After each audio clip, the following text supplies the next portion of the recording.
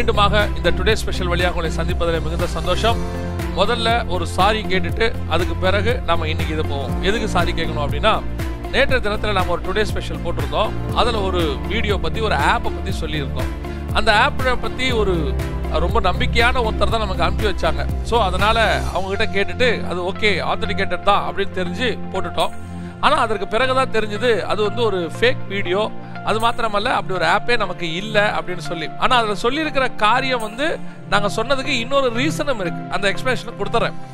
ஒரு பிரசங்கத்தில் நாங்கள் கேட்டோம் இன் ஃபியூச்சர் நீங்கள் வந்துட்டு அப்ளிகேஷன் வழியாகவே பாவ மன்னிப்பு பெற்றுக்கொள்கிற காலம் வரும் அப்படின்னு சொல்லி ஒரு பிரசங்கியார் விளையாட்டாய் பிரசங்கம் பண்ணதை நான் கேட்டேன்.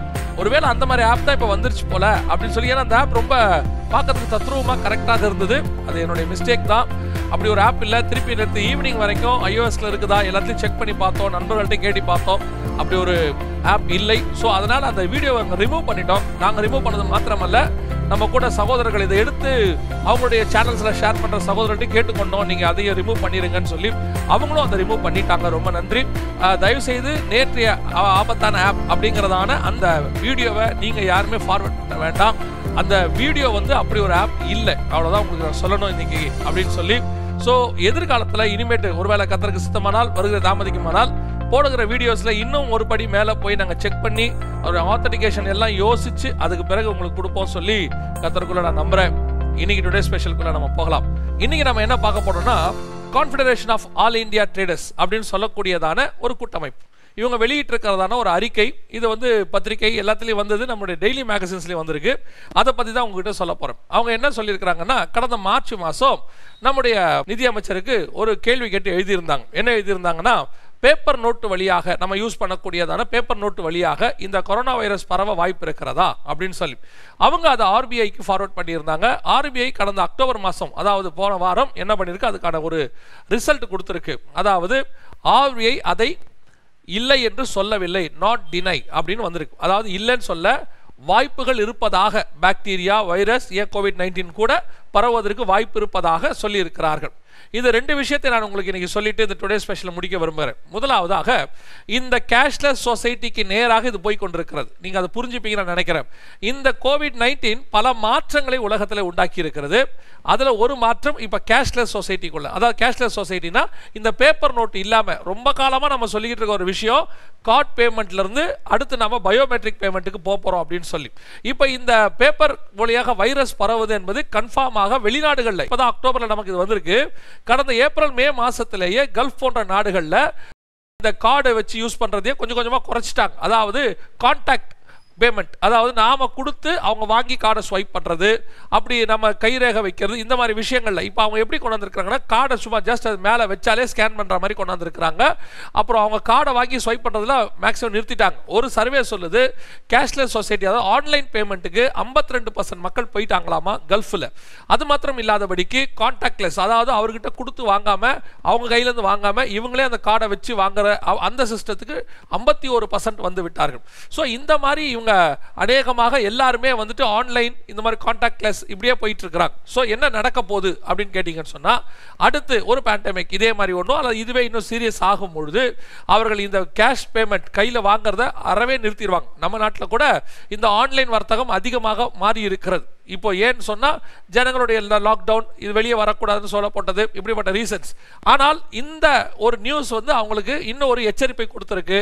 நீங்கள் என்ன செய்யாதீங்க. பேப்பர் வழியாக நோட்டு வழியாக கரோனா வைரஸ் பரவுதுங்கிற தாட் அவங்களுக்கு வர ஆரம்பித்தாலே கொஞ்சம் கொஞ்சமாக கேஷ்லெஸ் பேமெண்ட்டுக்குள்ள நம்ம போயிடுவோம் அந்த கார்டுமே அதுக்கப்புறம் வாங்கி இப்போ நமக்கு நம்ம பெட்ரோல் பங்க்லாம் போனீங்கன்னா கார்டை வாங்கி ஸ்வைப் பண்ணுறாங்க அவங்க. அதன் வழியாகவும் பரவுது. ஒருவேளை அவங்க க்ளவுஸ் போட்டுட்டு பண்ணுவாங்க அப்படின்னு சொன்னால் கூட அது வழியாக கூட பரவுது அப்படிங்கிற ஒரு ஒரு பயம் அவங்களுக்கு இருக்குது. ஸோ இதுக்கெல்லாம் என்ன செய்யலாம் அப்படின்னு கேட்டிங்கன்னா நேரடியாகவே பயோ பேமெண்ட் அதாவது பயோமெட்ரிக் பேமெண்ட் இந்த பயோமெட்ரிக் பேமெண்ட்லேயும் இன்னொரு பிரச்சனை இருக்குது கர்நாடகா போன்ற மாநிலங்களில் ரெண்டு மூணு மாதத்துக்கு முன்னாடியே ஒருத்தர் கைரேகை வச்சுட்டு பயோமெட்ரிக் உள்ளே போனார்னா திருப்பி அடுத்தவர் வந்து வைக்கும் போது என்ன ஆகுது? இந்த கைரேகை அவர் கைரேகை மேலே வைக்கும் போது ஒருவேளை அவருக்கு கோவிட் நைன்டீன் இருந்தால் இவருக்கு அது வழியாக பரவ வாய்ப்பு இருப்பதாக எண்ணப்பட்டு அதுக்கப்புறம் இந்த பயோமெட்ரிக் வைக்கிறதே ஸ்டாப் பண்ணிட்டாங்க. அதுக்கப்புறம் இந்த கார்டு இந்த மாதிரி காரங்களை யூஸ் பண்ண ஆரம்பிச்சிருக்கிறாங்க. இதுக்கு எல்லாத்துக்கும் ஒரு வழி கடைசியாக இது அத்தனைக்கும் யோசித்து பாருங்களேன். பேமெண்ட்டே இல்லாமல் கோவிட் நைன்டீன் பரவாமல் கோவிட் நைன்டீனை விட மோசமான ஒரு வைரஸ் வருது. அது பரவாமல் இருக்கணும். கைரேகையும் வைக்கக்கூடாது. என்ன செய்யலாம்? வெரி சிம்பிள் இந்த சிப்பை கையில் போட்டுட்டு கிட்ட கொண்டு போய் ஸ்கேன் பண்ணால் போதும். நீங்கள் கையை வைக்க வேண்டாம். ஸ்கேன் பண்ணால் போதும். ஆட்டோமேட்டிக்காக நீங்கள் உள்ளே போக முடியும். பேமெண்ட்டை நீங்கள் பண்ண முடியும். ஸோ இது எல்லாமே எதை நோக்கி போயிட்டு இருக்குது ரொம்ப வேகமாக போயிட்டு இருக்குது நம்ம கையிலையும் நெத்திலையும் இந்த பயோசிப் என்கிறதான முத்திரையை கொண்டு வந்து நம்மளை ஒரு கவர்மெண்ட்டுக்கு கீழே உலக அரசாங்கம் நான் சொல்வது வேர்ல்டு கவர்மெண்ட் உலக அரசாங்கத்துக்கு கீழே கொண்டு வரக்கூடிய வேலைகள் துரிதமாக நடைபெற்று கொண்டிருக்கிறது. ரெண்டாவது நீங்கள் செய்ய வேண்டிய மிக முக்கியமானது நாம் நம்ம போன்ற இந்தியா போன்ற நாடுகளில் வந்து இந்த காசை யூஸ் பண்ணுற விதம் வந்து ரொம்ப தப்பாக யூஸ் பண்ணிக்கிட்டு இருக்கிறோம் எப்படி தப்பாக யூஸ் பண்ணிகிட்டு இருக்கிறோம் நம்ம ஆட்கள் சிலர்லாம் பார்த்தீங்கன்னா அப்படியே எடுத்து அந்த நோட்டை வாயில் வச்சுக்கிட்டே பேசுவாங்க. இன்னொரு நோட்டை எடுக்கிறது இந்த நோட்டை வாயில் வச்சுக்கிட்டே பேசுவாங்க. அந்த நோட்டை பிள்ளைகளுக்கிட்ட கொடுத்து விளையாடுவாங்க. ஸோ இந்த நோட்டில் வழியாக இது வந்து கொரோனா வைரஸ் இருக்குதோ இல்லையோ ஒரு நோட்டு கிட்டத்தட்ட ஒரு ஒரு நாளைக்கு எத்தனையோ பேர் அது கிராஸ் பண்ணுது பாருங்களேன். ஆர்பிஐயில் கூட அதை க்ளீன் பண்ணுறதுக்குன்னு ஒரு மெத்தட் வச்சுருக்கிறாங்க. இத்தனை இதுக்குள்ளே அதை க்ளீன் பண்ணுவாங்க. அதில் மண் இருந்தாலோ ஏதோ இருந்தாலும் அதுக்கு க்ளீன் பண்ணுற மெத்தட் இருக்குது டபிள்யூஹெச்ஓ கூட பத்து விதமான நோட்டை க்ளீன் பண்ணுறதுக்கான ஒரு முறைமையை சொல்லி கொடுத்துருக்குது எல்லா நாட்டுக்குமே. அது இருக்குது இன்றைக்கே இருக்குது ஆனால் நாம் கேர்ஃபுல்லாக இருந்தாலும் அது முடியும் பாருங்களேன். இந்த நோட்டை எதுக்கு யூஸ் பண்ணணும்? அதுக்கு தான் யூஸ் பண்ணணும். நாம் அதை வச்சுக்கிட்டு இந்த நோட்டில் விளையாடுறது அப்புறம் வாயில் வைக்கிறது அப்புறம் பிள்ளைங்கிட்ட கொடுக்கறது அந்த நோட்டை உங்களுக்குள்ளே போகிற அளவுக்கு கான்டாக்ட் அதாவது எப்படி நான் சொல்கிறது வாய்க்குள்ளே இந்த மாதிரி போகாதபடிக்கு பாதுகாத்து கூடுமான வரைக்கும் இந்த நோட்டை நீங்க சைட்ல பிடிச்சோ ஓரமா பிடிச்சோ யூஸ் பண்ற மாதிரி ஒரு நிலைமைக்கு வாங்க. அது கொஞ்சம் உங்களுடைய நான் சொல்றது உங்களுடைய ஹைஜீனிக்காக இருக்கிறதுக்காக நான் உங்களுக்கு சொல்ல வரேன். அதன் வழியாக நீங்கள் க்ளீனாக இருக்கணும். நம்ம கிளீனினஸ் வந்து வெரி இம்பார்ட்டன்ட் தானே? சுத்தமாக இருக்கிறது. அது இந்த நோட்லையும் கொஞ்சம் கேர்ஃபுல்லாக இருங்க அப்படின்னு தான் நான் சொல்ல வரேன். கத்தருக்கு சித்தமானால் இன்னொரு டுடே ஸ்பெஷல் வழியாக நான் மீண்டும் உங்களை சந்திக்கிறேன். God bless you.